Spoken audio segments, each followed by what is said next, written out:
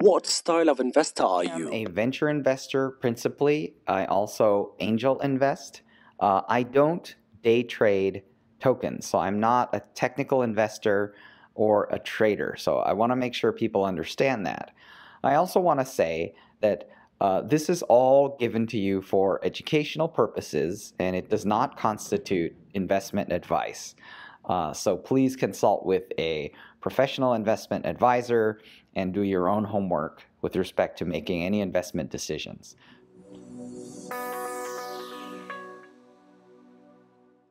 Why do traders need to understand blockchain fundamentals? Shouldn't technical analysis be enough?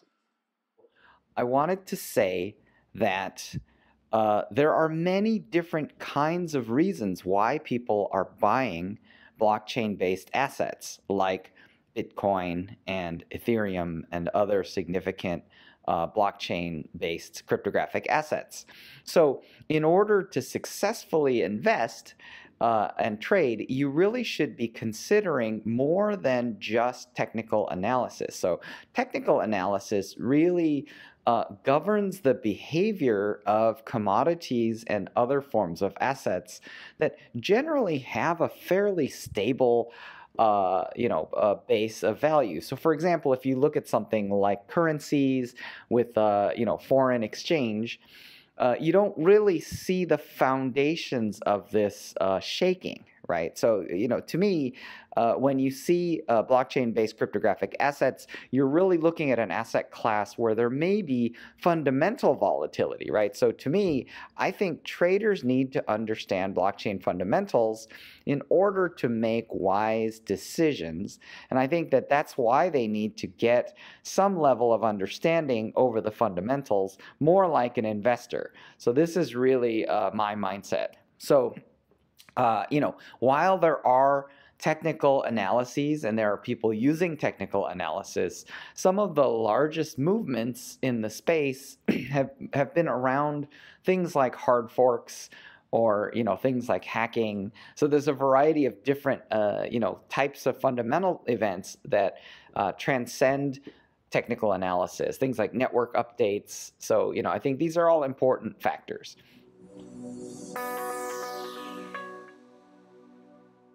How should I reason about asset allocation and appropriate exposure? Do I need a thesis? What is an example of a thesis? you know, asset allocation is one of the most important things to understand, especially when you start to consider things like, you know, the Sharpe ratio. So, you know, when you think about a balanced portfolio, you really need to think about kind of what is a balanced, uh, you know, what does that look like? And I think you need to really be able to reason about risk. So, the thing that I think is interesting about the cryptographic asset class is that it contains uh, a decorrelated quality with respect to other assets that may be common in a person's portfolio. So, you know, what's interesting about that is, is that modern portfolio management theory suggests that if you have the opportunity to invest part of your portfolio into a decorrelated asset class, then it is actually increases your risk to not expose yourself to the asset. But the, the question then becomes, you know, what is the uh, risk inherent to the asset? And then you have to kind of adjust accordingly your allocation. So I think the conventional wisdom is that a kind of a broad based portfolio should contain somewhere in the maybe 2 to 5% exposure level to cryptographic assets. You know, for some people, that may be very uh, overly bullish and that may be an extreme exposure but you know for for others they put much higher percentages of their portfolio into cryptographic assets which you know i think everyone has to acknowledge is fairly risky so i think you know thinking about asset allocation and appropriate exposure it's important to try to understand uh, you know, first of all, like how much, and I think also why. So I think that's when the thesis becomes important. So um, why are you allocating into this asset class? So, you know, I think that uh, folks that are allocating into this class, uh, you know, th- that's where something like a thesis can come in handy, right? Now, I know that there's technical trading and day trading and you know these are all kind of generally devoid of a concept of a thesis. But if you are uh, a little bit more like me you may actually consider thesis investing you know which really may be uh, something you know let me give you an example of a thesis. So there's something that's observable in the sort of circulating market capitalization of coins and you know, when you see that, you may be able to infer, for example, one of the things I posit is that according to the power law distribution, you should expect the largest cryptographic asset, which is currently Bitcoin, to be approximately 50 to 51% of the total value of all cryptographic assets. So this is actually held to be true, and it is a factor that is observed by market watchers in the form of what's called Bitcoin dominance. So, you know, that's really, uh, you know, my own personal thesis. So I believe that, you know, you can create opportunities against that thesis. But, you know, your you should do your own homework, right? That's that's the way I look at Bitcoin dominance. And you know, I, I don't necessarily look at this from the perspective of what's called the Bitcoin maximalist, because I don't my my thesis is not that Bitcoin will always maintain that dominance. It's rather that whatever cryptographic asset is most highly valued will retain about that much value in the market compared to the other assets. So that's my uh, assumption based on the way that I reason about the value of these assets.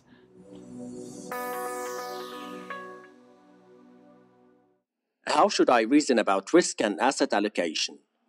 But to me, you know, I think that I want to reiterate for you that you know, if there is truly a decorrelated asset class, then you should expose yourself to that in order to reduce your risk, right? Because obviously, you know, you would be hedging against things like fiat currencies, you'd be hedging against things like stock market, you know, other economic forces. So I think that that's that's an interesting and important mindset you know, obviously reasoning about it from the perspective of fundamentals, you know, if you do see a pullback in the broad market, uh, a decorrelated asset class may actually go up. Obviously, it depends on the scale, right? If the market goes down a lot, at the moment, my thesis would be that Bitcoin would also go down.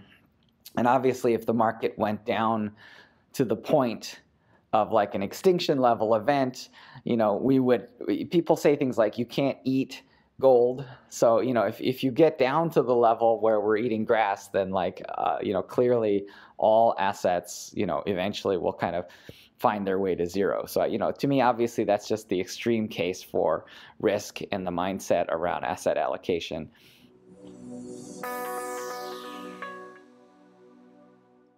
And how can understanding blockchain help me with trading?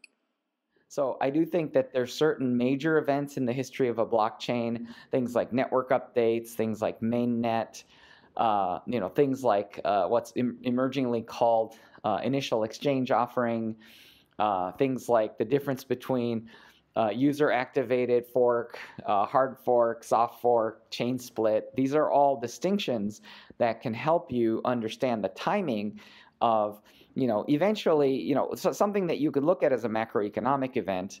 Uh, you know, these are all you know factors that I think people should watch, and and they're factors that that actually involve quite a lot of understanding. So I think it may be you know it's a little bit too short of a of an interview to to really go deep there. Um, but I will get into a few of the fundamentals.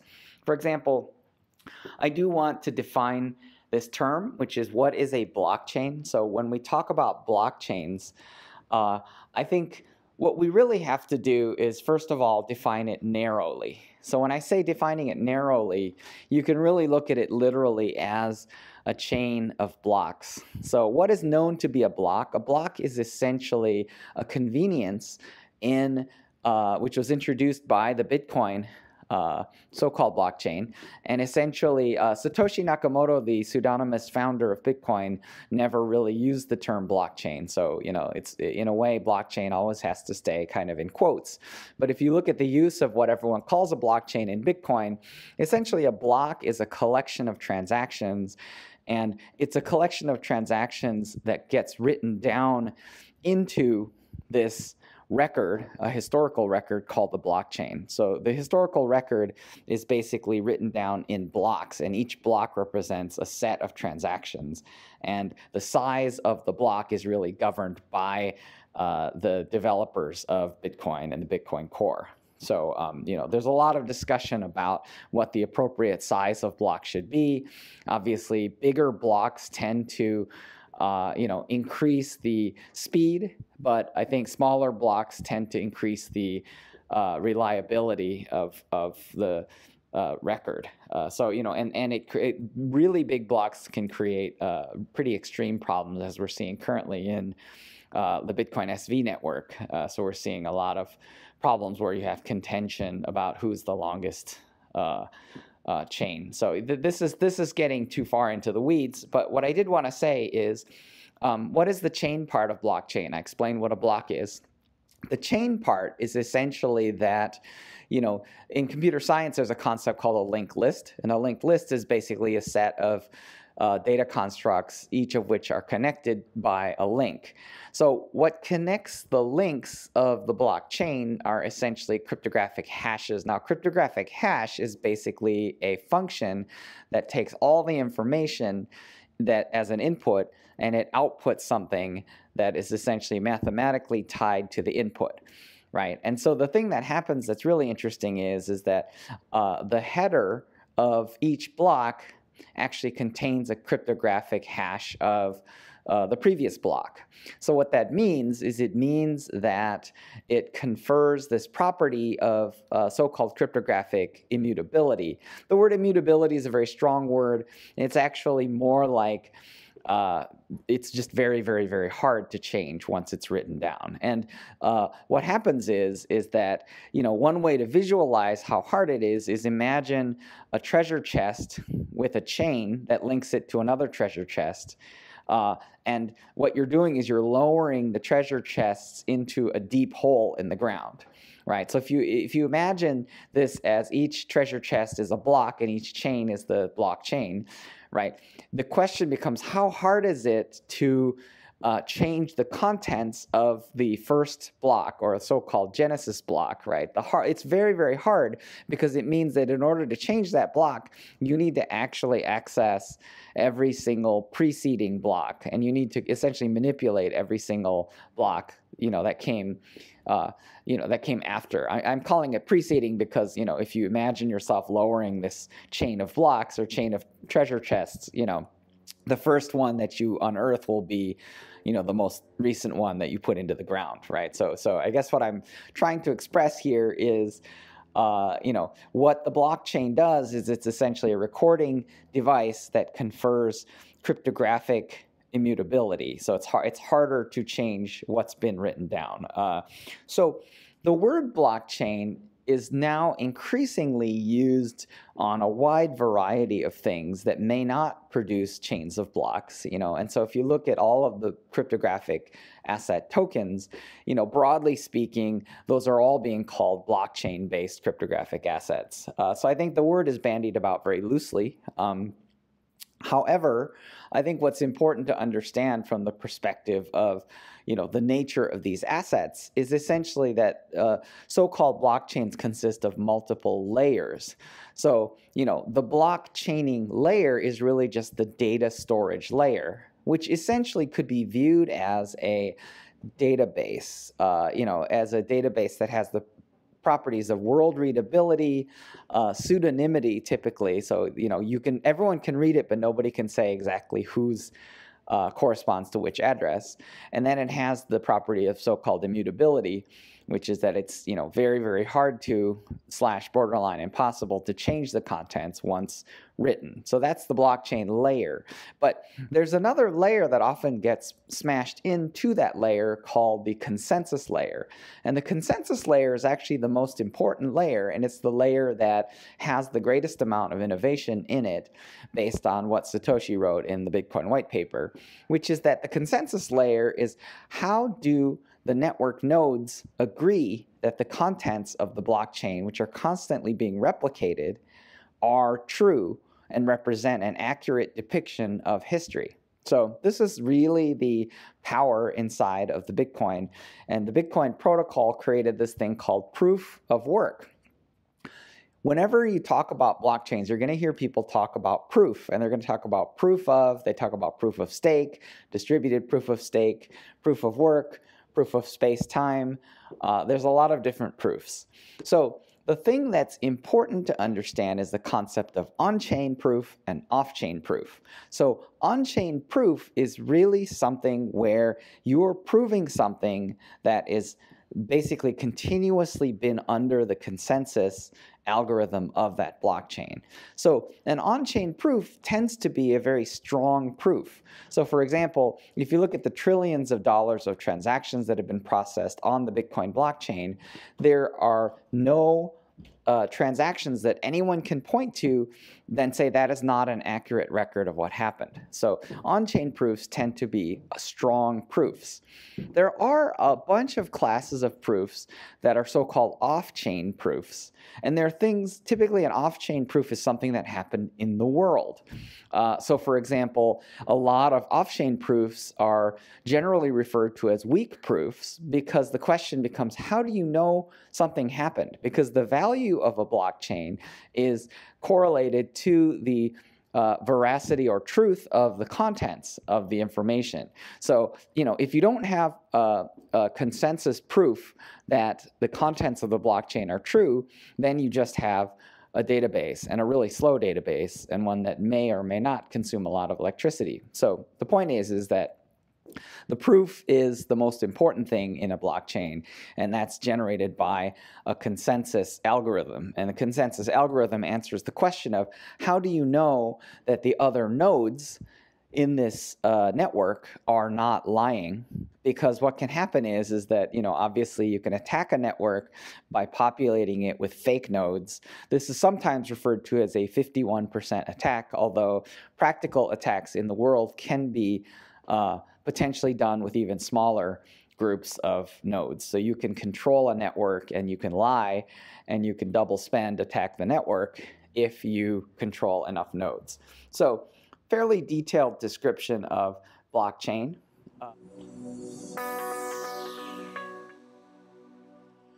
what is a hard fork and what does it mean to traders? So you know, uh, what a fork is essentially, it's open source. So typically open source projects have the source code of the software. So a hard fork is basically this notion that you can take the software and you can just decide to do something different with it. So, you know, that's that happened in the history of Ethereum with the creation of Ethereum Classic. It happened in the history of Bitcoin with creation of things like Litecoin, uh, things like uh, Bitcoin Cash, the split between Bitcoin Cash uh, ABC versus uh, SV. So, you know, it, the forks happen again and again in the space. I think it means something very special to traders, which is that, you know, if it's a so called chain split, it means that people who are holding the coin and who have custody over the cryptographic private key can actually get uh, coins on both sides of the fork. So for example, if you were holding Bitcoin Cash before the split, you know, and you had custody over the key, then you would get both Bitcoin ABC, which ended up being called Bitcoin Cash, and you would get Bitcoin SV. So, you know, that's a really interesting event. Uh, you know, and and th these forks are typically the result of you know network updates. Uh, so, you know, when the software gets updated. Um, how should I analyze a blockchain on the basis of fundamentals? So uh, that's really interesting, especially as you start to get into you know lower cap altcoins, which are much more speculative. You know, obviously, you know, Bitcoin is the is probably the least speculative of a speculative asset class called cryptographic assets. But if you analyze a blockchain, the thing that you really need to kind of look at is you need to look at certain fundamentals like how robust is the developer community. You need to understand, you know, how quickly the code is being updated. You need to understand things like, uh, you know, what is the uh, algorithm that underlies the consensus of the blockchain and you need to understand, uh, you know, things like what is the uh, sort of technical foundation, which is often written in the form of something like a white paper. So, you know, I think that's a lot to understand, but, you know, honestly, I think if you are planning to make investments or trades in this space, I do think that it's important that you have at least a grasp of the fundamentals of this emerging asset class because I think that the fundamentals are going to be the major drivers of the next kind of bull run, right? Which is that I think that the first bull run the major bull run that took you to $20,000 Bitcoin was driven uh, off of pure speculation. I think the next run should be driven off of much more fundamental basis, and it should be driven off of things like the creation of primary economic value to network participants. So, you know, I, I do think that in some ways that gets closer to something like a stock market where you're actually looking at you know how the network produces value and in the case of stocks obviously it's how does the company you know offer value to the market to customers and how does it capture that value in the form of revenue so i think we'll have very similar ideas coming into the blockchain space. Although I think the blockchain space has more to do with token value, capture of value of the network, and you know the inclusion of the value capture by the network participants. So I think it's a much more potentially inclusive model, and uh, I think as such it's potentially quite a uh, nonlinear and a viral model. But you know I do think that we will see increasingly fundamentals driving the growth of these assets. And I think the fundamentals have to do with things like usage, usability, and uh, things like uh, transaction, daily transaction volume by users. Uh, so that's about all I have to say on the topic. Uh, if you want to follow me, my Twitter is Miko Java, J A V A. Uh, you can find me at miko.com, M I K O.com. And uh, you can find my blog at blog.com gumi-cryptos.com. That's G-U-M-I-cryptos.com. And uh, you can follow me at those places. Thanks.